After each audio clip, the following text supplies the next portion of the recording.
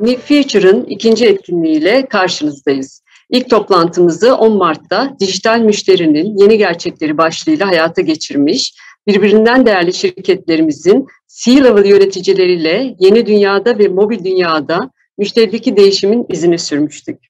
New Future'ın bugünkü toplantısında ise sektörlerimizin ve şirketlerimizin dijitalleşmesini bir adım öteye taşıyacak teknolojileri ve bu teknolojinin işe yansımasını konuşacağız. Panelimize geçmeden önce Akbank Genel Müdür Yardımcısı Sayın Doktor İlker Altıntaş nezdinde tüm Akbank ekibine etkinliğimize verdiği destekten dolayı teşekkür ederiz. Sözü panelimizin moderatörü, Kapital Dergisi Yazı İşleri Müdürü Şeyma Öncer Bayıksel'e bırakıyorum. Çok teşekkürler Ebru. Ee, hepiniz New Future webinar serimizin ikincisi olan Dijitali Şekillendirecek Trendler panelimize hoş geldiniz. Ee, bugün burada şirketler cephesinden bakarak dijitalin e, geleceğini konuşacağız hep birlikte. Ee, tabii uzun dönemli büyüme ve gelecekte var olabilmek şirketlerin her dönem odağında olan konular. Ee, bunlar C-level yöneticilerin de ajandalarının ilk sıralarında yer alıyor. Bunu başarmanın en kestirme yolu olarak da dijital transformasyona vurgu yapılıyor. E, bu konuda Türkiye'de de özellikle pandemi sonrasında pek çok şirketin daha özenli yatırım yapmaya başladığını görüyoruz aslında. Peki bu teknolojiler neler? Yani günümüzde teknolojilerden bahsediyoruz ama gelecekteki teknolojiler neler, neler olacak? Tabii farklı sektörlere göre değişse de e, sıralama e, biliniyor biraz. Yapay zeka bugün söz ediyoruz, gelecekte de söz edeceğimizi biliyoruz. Robotik, robotik süreç otomasyonu, e, yazılım robotları diye çevirebileceğimiz teknolojiler, edge computing ya da uçta hesaplama, e, kuantum hesaplama, nesnelerin interneti, 5G, artırılmış ve sanal gerçeklik ve bütün bunların sonucunda e, siber güvenlik gibi konular önümüzdeki dönemde kısa vadede en fazla konuşulacak dijital trendler olarak karşımıza çıkıyor aslında. E, biz de kapital olarak New Future serimizde bu ikincisinde webinarımızda sektör yetkilileriyle birlikte onların gözünde hangi trendlerin geleceğe damga vuracağını konuşmak istedik. BSH Ev Aletleri Global D2C Başkanı Sayın Ayşenur Evcil bugün bizlerle birlikte olacak. Kendisiyle yetki alanında bulunan 130 ülkeyi kapsayan bölgenin dijital yol haritasını masaya yatıracağız. Ee, son dönemin dijitalleşme dendiğinde en fazla konuşulan sektörlerinden biri hiç kuşkusuz telekom oldu. Ee, telekom sektöründeki bu hızlı dönüşüme ışık tutmak amacıyla Türk Telekom Strateji Planlama ve Dijital Genel Müdür Yardımcısı Sayın Barış Karakulukçu bizlerle birlikte olacak.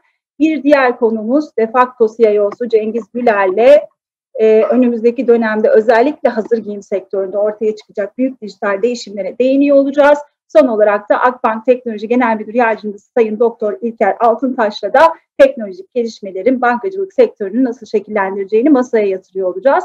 Beyaz eşyalar içerisine yerleştirdiğimiz sensörler vasıtasıyla elde ettiğimiz izinli veriyle çok farklı aslında değer önerileri üretebiliyoruz. İşte basit birkaç örnek vermek istiyorum. E, buzdolabımızın içerisine yerleştirdiğimiz kamera vasıtasıyla artık örneğin buzdolabında ne var sorusunu çok daha kolay bir şekilde cevaplayabilirsiniz. Ya da entegre ettiğimiz sistemler ve servisler aracılığıyla artık alışveriş sistemi çok daha kolay bir şekilde herhangi bir e-ticaret ya da perakende ortağıyla hayata geçirebiliyorum. E, cihazlar e, baktığınızda sizin kişisel ya da aile alışkanlıklarınıza uygun size öneriler vererek e, daha farklı bir hayat kalitesi sağlamaya e, yarıyor. E, ya da baktığınızda artık cihazlar uzaktan bağlanarak e, teknik servis çalışanlarımız gerçekten cihazınızdan maksimum kapasiteyi alabilmeniz, e, kullanımınızla ilgili olabilecek sorularınızı cevaplamak, hani özellikle bugünkü Covid gündeminde de mesela çok e, gerçekten öncelikli bir değer önerisi haline dönüştü bizim için. E, baktığınızda bu tür servisleri sağlayabilmek ya da aslında cihazlarınız bozulmadan bozulmasına engel olabilecek olan öngörüyü işte veriden elde ettiğimiz içgörüyle müşterilerimize iletip hani farklı kullanım e, önerilerinde bulunabilecek bir e, platform e, kullanabiliyoruz ya da iletebiliyoruz artık tüketiciye. Bu da teknolojiyle tabii ki mümkün olabiliyor. Nesnelerin interneti bizim için çok kritik. Sensörler tabii ki yine bu işin çok önemli bir parçası. Ama veri de keza öyle. Çünkü e, baktığınızda müşteri deneyimini iyileştirebilmek için veriyi anlamlandırabilmek ve çok büyük bir e, veri havuzundan bahsediyoruz. Bunu e, etkin bir şekilde değer önerisine çevirebilmek, müşteride e, mutlu olabileceği bir karşılık yaratabilmek, bunu harmanlayabilmek, işte yapay zeka, artificial intelligence'ın farklı boyutları, cloud computing dediğimiz bütün bu veriyi aslında harmanlayıp daha etkin bir şekilde servislere dönüştürebileceğimiz altyapılar bizim için tabii ki çok çok önem kazanıyor. E, dolayısıyla baktığınızda bizim için e, en önemli şeylerden biri ev eşyalarının akıllanmasıyla beraber sağlamaya çalıştığımız servislerin her gün dönüşmesi. Bunun için de hani ciddi anlamda e, veri odaklı bir yaklaşım geliştirmemiz herhalde e, teknolojik anlamdaki yatırımlarımızın en büyüğünü oluşturuyor diyebilirim. Telekom evet hazırlıklıydı ama hani genel olarak yani belki dijitalleşme konusunda e, hani şeyi e, önde olmak zorunda olduğu için önde olmaya belki alışık olduğu için hani doğası gereği e, iletişim sağlama misyonu da olduğu için pek çok anlamda hazırdı ama pandemi gibi bir şeye hiç kimse hazırlıklı değildi. Hem dünyada hem de Türkiye'de ben geçen sene soruyordum. Hadi hani, benim için sürpriz oldu ama siz hazırlıklı mıydınız gibi sorularını soruyordum. Ve bizim e, e Ayşenur'la eski şirketimizin CTO'su yakın zamanda yaptığı bir sunumda şey dedi. Hani böyle tüm dünyada bir tane çok büyük bir e, şey fast forward button var. Ona basılmış gibi oldu ve biz bu e, dijital dönüşümü çok hızlı bir şekilde e, yaşadık. E, her e, ülke açısından dedi. Ben de ona katılıyorum. Çünkü hani custom experience konuşurken hepimizin hani e, iki cümlede bir kullandığımız e, terim oyken human experience Experience biraz daha insan boyutu konuşulmaya başlandı. Çünkü herkesin e, daha fazla dijitale taşındığı ve oradaki deneyimlerini e, ama hani sadece alışveriş olarak değil hayatımıza işte telehealth'in, e, tıbbın girdiği, Zoom toplantılarının girdiği, Şeyma Hanım sizin çok güzel bir şekilde söylediğiniz üzere çocuklarımız ve kendi e, eğitimlerimiz kaynaklı çok yoğun e, hani e, online eğitimlerin e, girdiği dönemde her şeyin merkezinde aslında e, şey var, e, telekom şirketleri var. Çünkü bağlantı e, ile ilgili e, konular her zaman gündemde. Yani kullandığınız aplikasyon ya da o anda yaşadığınız deneyim başka şeylerden kaynaklansa da ilk aklınıza iletişimin geldiği bir durumda yaşandığı için yani sadece Türk Telekom değil tüm telekom şirketlerinin bol bol anıldığı, bol bol e, şey yapıldığı, değerlendirildiği, sınandığı bir dönem. Yani Allah şükür hani bu dönemden e, bence sektör iyi bir şekilde geçti. Büyük patlamalar olmadan geçti. E, tabii ki her şirketin hani böyle e, artık hani şu terimler kullanıyor. Hani every business is technology business e, ya da işte bu teknolojiyi çıkarın, digital business koyun. Herkesin, her şirketin buna dönüştüğü bir durumda biz hem e, B2C tarafında e, bireysel müşterileri düşünmek durumunda kalıyoruz hem çok yoğun hayatımızda kurumsal müşterilerimiz olduğu için onları düşünmek durumunda kalıyoruz. Hem de hani biz sadece müşteri düşünmeyen kamu gibi de e, yani 180 yıllık, yıllık bir şirket ve kamudan özelleşmiş bir şirket olduğu için kültürü, kültürü itibariyle hani vatandaşları her zaman düşünen bir şirket olduğumuz için kamu faydası çok kritik ve buradaki e, bizim özellikle geleceğe hazırlanmamız yaptığımız yatırımlar ve çalışmalar bunları düşünmek durumunda ve e, burada en iyi deneyimi hani e, vatandaş diyebilirsiniz, müşteri diyebilirsiniz, kullanıcı açısından en iyi deneyimi sağ, sağlamak adına elimizden geleni yaptığımız bir dönem. Ve hani evlere kapanılsa da Türk Telekom'un e, özellikle e, ekiplerinin çok yoğun sahada olduğu, iki kat, üç kat e, çalıştığı ve e, pek çok anlamda da rekorlar kırdığı bir e, dönemi geçirdik. Tüm sektörler e, bir çağın kapanışına ve yeni bir dijital çağın açılışına tanıklık ediyoruz. E, bu da aslında hepimizin, yani yine tüm sektörlerin iş yapış şekillerini değiştiriyor ve hepimizin de hayatını değiştiriyor. Şu anda pandemi sonrası gördüğümüz bu. Hayatımızda neler değişti? Bir kere artık dışarıya çok daha az çıkıyoruz. AVM'lere çok daha az gidiyoruz. E, restoranlara, kafelere artık hemen hemen hiç gitmiyoruz. Evde yemek yiyoruz. E, dolayısıyla bu sektörlerin, yani perakende sektörünün e, marketlere çok daha az gidiyoruz. Hep e, internetten alışveriş yapıyoruz. Dolayısıyla bu perakende sektörünün iş yapış şekilleri, müşterilerin davranışları çok değişti. Bizim hazır giyim sektörü olarak bakarsak da aslında e, daha az işe gittiğimiz için, daha çok home office çalıştığımız için, daha az dışarı çıktığımız için giyim alışkanlıklarımız da değişti. Artık eskisi kadar business casual, e, yani iş kıyafetleri giymiyoruz. Daha rahat kıyafetleri tercih ediyoruz. Dolayısıyla bizim müşterilerin de alışveriş tercihleri değişti. Yani daha çok fazla rahat ev giyim, e, e, rahat giyim alışverişleri yapmaya başladı müşterilerimiz. Bu da bizim bütün süreçlerimizi baştan dizayn etmemize neden oldu. Şimdi e, akıllı mağazayı da biz e, bu bakış açısı mağaza konseptinin yeniden tasarımı için tasarlamıştık. Pandemiden hemen önce canlıya aldık. Yani 2019 yılı sonunda canlıya aldık akıllı mağazamızı. Hemen ardından pandemi geldi, AVM'ler ve mağazalar kapandı. Yani akıllı mağazayı açtık, sonra bir süre sonra mağazalar kapandı. Bizim akıllı mağazalar kapandı. Sonra bir süre sonra, üç ay sonra açtık e, akıllı mağazamızı tekrar. Şimdi akıllı mağazada aslında tamamen pandemi şartlarına uygun bir alışveriş ortamı sağlıyoruz. Ne yapıyoruz? Şöyle bir hayal edin. Mağazaya geldiğinizde mağazanın dışında bir akıllı ayna var. Augmented Reality, Virtual Reality teknolojilerini kullandığımız bir akıllı aynamız var. Mağazaya girmeden mağazada bulunan bütün ürünleri üzerinizde, kendi üzerinizde, kendi aynadaki görüntünüz üzerinde görebiliyorsunuz ve test edebiliyorsunuz. İşte üst gruplarda hangi kıyafetler var, alt gruplarda hangi kıyafetler var. Onları kombin yapabiliyorsunuz ve kendi üzerinizde nasıl göründüğünü görebiliyorsunuz. Eğer beğenirseniz mağazanın içine giriyorsunuz. Mağazaya girişte sizi robot müşteri temsilcileri karşılıyor ve size akıllı mağazadaki alışveriş deneyimiyle ilgili bilgi veriyor. Nasıl alışveriş yapacağınızı anlatıyor robotlar. Sonra robotları da geçtikten sonra ürünleri aslında fiziksel ürünleri görüyorsunuz. Kumaşına dokunuyorsunuz. Rengini görüyorsunuz.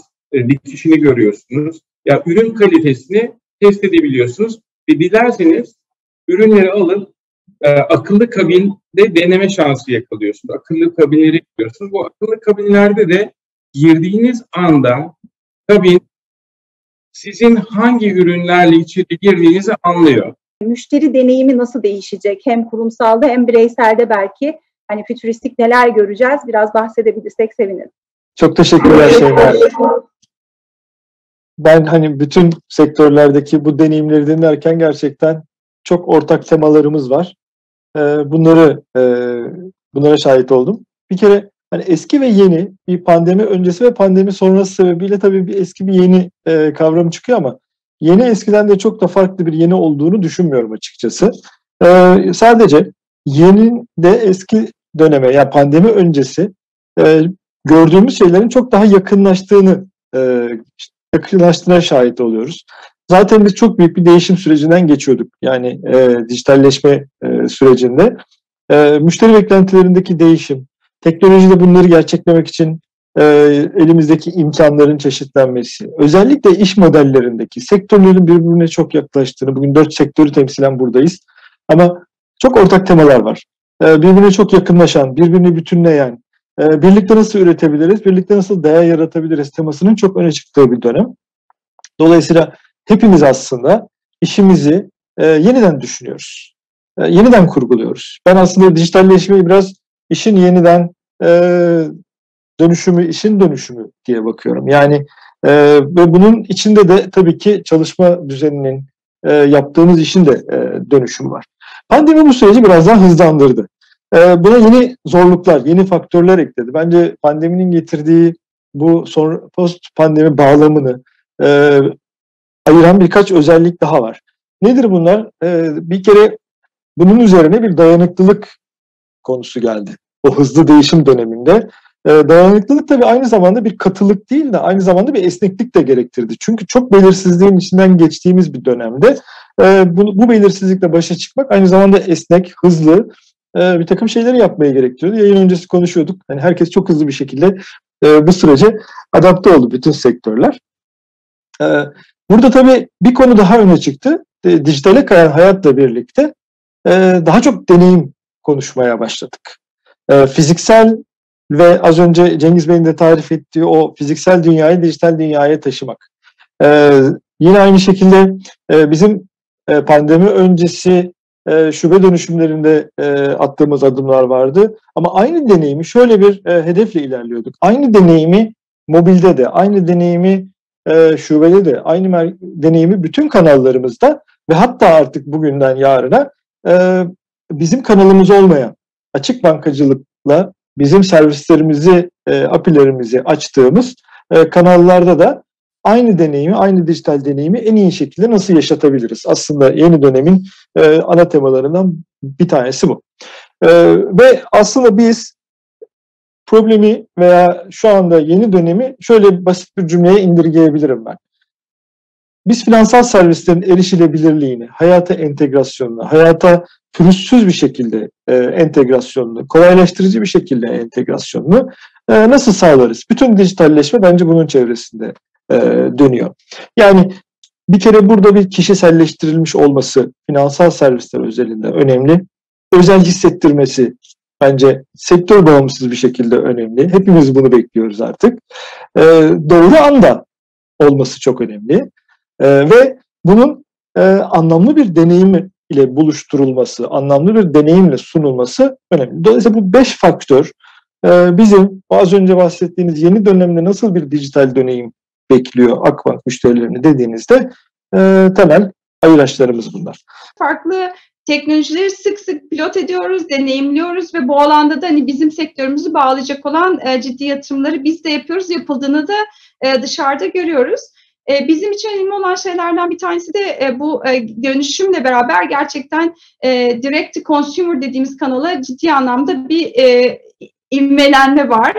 Dolayısıyla bu alanda da işte çoklu kanal CRM teknolojileri, veri tarafında yaptığımız yatırımlar, e, yapay zeka yaptığımız yatırımlar devam edecek. Buradaki trendlerin de daha hızlanarak gerçekten real time olarak müşteri deneyimini çok çok daha kişiselleştirmeye yönelik daha uyumlu çözümler e, sağlanabileceği konusunda öngörülerimiz var. Bu yöne ciddi anlamda yatırım yapıyoruz. Yine aynı zamanda çağrı merkezi yani müşterinin aslında satın alma sonrasında e, deneyimleyebileceği alanlarda e, e, önemli beklentilerimiz var. Biraz önce biraz bahsettim aslında e, evinize gelmeden teknik servis çalışanlarının e, cihazlarınıza ulaşarak size servis vermesi. E, örneğin önemli e, katma değerli değişimlerden bir tanesi. Buraya ciddi anlamda yatırım e, yapmaya devam ediyoruz. Çünkü değişimin burada olmasını bekliyoruz. Yine keza lojistik alanı e, önemli çünkü tüketiciyle ürünü daha hızlı bir araya getirebil, e, getirebilmek adına ve oradaki value chain'i daha etkin yönetebilmek adına e, lojistik tarafında da e, ciddi anlamda teknolojik yatırımlarımız devam ediyor. E, trendleri hani buralarda e, evolve etmeye devam edeceğini düşünüyoruz ve görüyoruz. E, bu şekilde e, yatırımlarımız hızlı bir şekilde devam ediyor, etmeye de devam edecek. Şimdi biz pandemiyle beraber ne değişti diye baktığımız zaman bir e-ticaretin toplam perakendedeki ciro payı önemli ölçüde değişti. Yani 2019 yılında yüzde dörtlerde, beşlerde olan e-ticaret ciro payı şu anda ilk beş aya baktığımız zaman yüzde yirmi beşlere gelmiş durumda. 2023'te de yüzde ellilere gelmesi bekliyoruz. Yani müşterinin alışverişi biraz offline'dan, mağazadan e-ticarete kaymış durumda. Bu önemli bir değişim bizim gördüğümüz. İkinci önemli değişim de şu. Bu dönemde ilk defa e-ticaretten alışveriş yapan müşteriler çıktı ortaya. Yani daha önce hiç e-ticaretten alışveriş yapmayan çeşitli nedenlerle hep mağazadan alışveriş yapan müşteriler işte AVM'lere gidemediği için, işte pandemi nedeniyle riski gördüğü için, evden çıkamadığı için e-ticaretten alışveriş yapmaya başladı. Hatta bazı aylarda, geçtiğimiz bir yıldan bahsediyorum, yeni müşteri oranımız yani ilk defa bizim e-ticaret sitemize gelip alışveriş yapan müşteri oranımız %75'lere geldi.